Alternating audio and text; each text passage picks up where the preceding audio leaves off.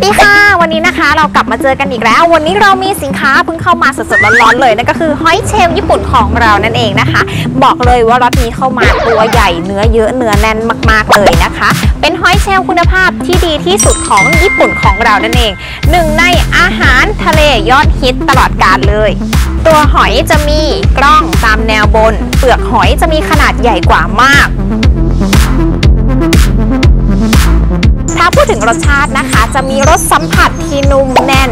เนื้อนวลเนียน มีสีขาวอมชมพูนะคะ รสชาติจะหวานอ่อนๆ แบบธรรมชาติ ส่วนสีส้มๆ ตรงนี้นะคะ คือไข่ของหอยเชลล์ญี่ปุ่นนั่นเอง